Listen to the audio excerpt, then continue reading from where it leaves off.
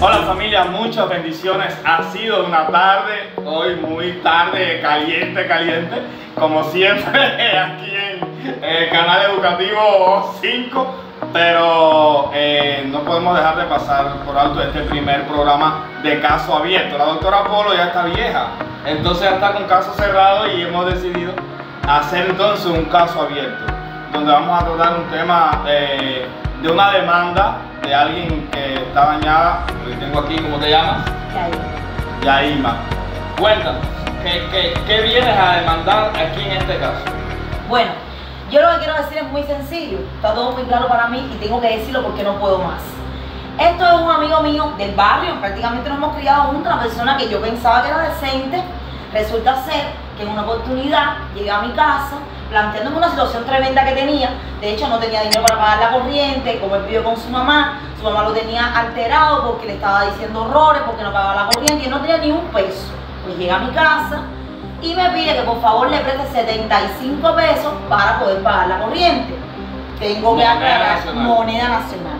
Quiero aclarar que el único monto con el que yo contaba eran 13 UC, que era el equivalente a 75 En aquel momento. en aquel momento que sucedió lo que te estoy contando.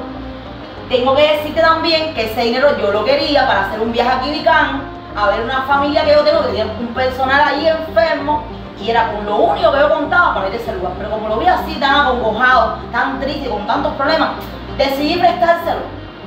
A lo que también él me dijo Ay, que... disculpa para entender, es un vecino. Me sí, hablando de un vecino. Un vecino, una persona que yo conozco de toda la vida. No estamos hablando de un desconocido. ¿Puedes decir nombre?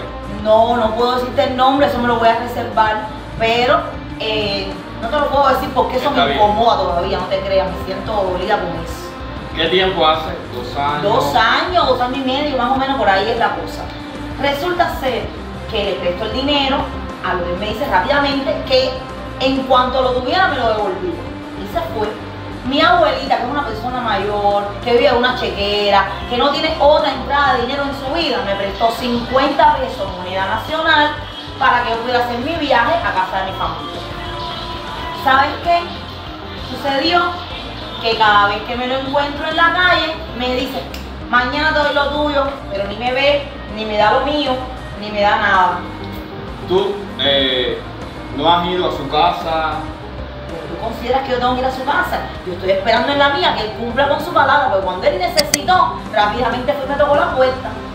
y no has podido, tú eres cristiana y sabemos que Dios nos manda a perdonar. Lo has perdonado, no respondas todavía. Vamos a hacer una pausa musical, vamos a ver un pedacito de este nuevo tema de Miguel Escogido que se llama Positivo y volvemos aquí a Caso Abierto. tiene calidad. Es que yo ando positivo. Y tu camino siempre bajo cero negativo.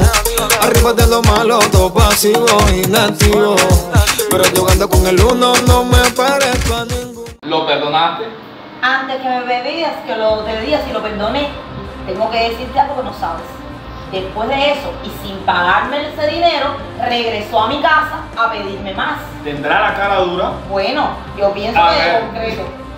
Vaya, yo y, no y sé. tú, como buena persona, se lo diste. Para nada, ese sí no se lo presté. Me va a pasar lo mismo. Ni hablar, no, no, yo le di ni un peso más. ¿Cuánto quería ahora? Ahora quería 100 pesos, Serían entonces 175, 175. que llevado al CUC sería 7 se usé. y llevado al dólar americano porque supe que tú quieres comprar dólar americano. Ajá, bueno. Lo supe hoy mismo. Sería llevado a USD, ¿cuánto sería? Tengo una persona que, que tiene. Ahora al final del programa Sí, te digo. Serían unos 3 o 4 dólares ¿Qué- americanos. Que ahora mismo qué podrías comprar con eso. Bueno, eh, ahora mismo confituras en la MLC que a mí me gustan mucho. Cuando tú lo ves a él, ¿cómo te sientes? Muy mal.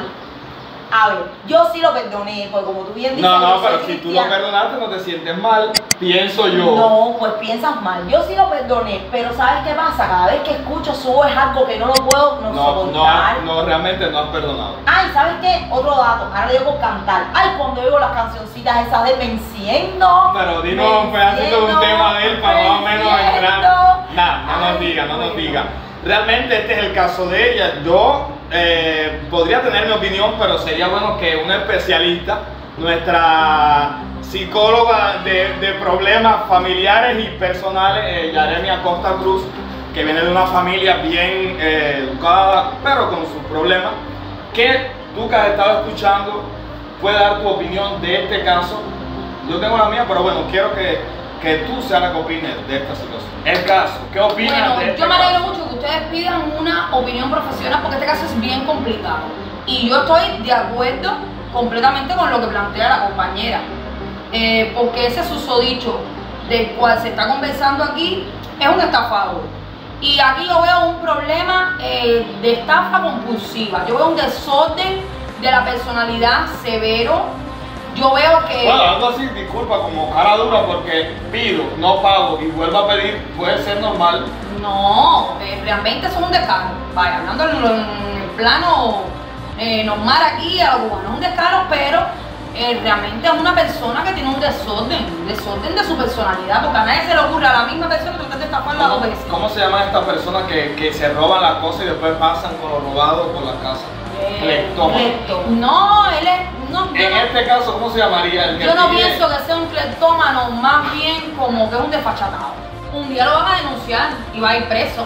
Mínimo le toca un año de privación de libertad por estafar a una persona. Porque así usted pida un peso, no lo devuelve en el tiempo reglamentado, usted estafó. Pregunto, y el caso de, de, de Yaima, ¿ella hizo bien en, pre- en no prestarle el dinero la segunda vez o tú crees que debía, que si lo tenía, prestárselo? No, ella hizo bien, ella hizo bien, porque se vuelve como un síndrome de Estocolmo. Vaya, como que yo, eh, siendo estafada, siendo víctima, vuelvo a caer en la misma situación. Fíjate, miren lo que se ha convertido Yaima. Ah, Por favor, cámara, de muy bien, no se lo puede prestar. Y ahora mismo ella tiene un conflicto interno entre perdonar, entre perdón verbal y el perdón eh, sugestivo.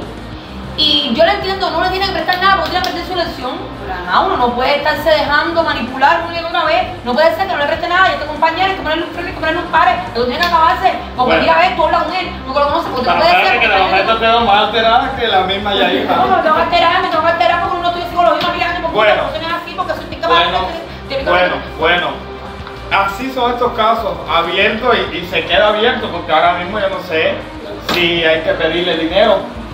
¿Qué debe hacer ella? No, debe ir a su casa Que vaya a su y casa, que la que vaya a su casa, que toque la puerta, ahí, ahí, ahí, que hable con su mamá, con su esposa, si la tiene, con su prima, con su abuela, pero tiene que volverle a su casa, lo quedar así, dos años, pero demasiado, no suena así, caballero, tiene que quedarse abierto y esto es que retomarlo porque Entonces- no una medida, porque no es así, porque tú tienes que Entonces, eh, ha tenido que irse del programa porque cada vez que revive este asunto Lágrima eh, y llorando y se le está tomando la presión a Yaima en este mismo momento.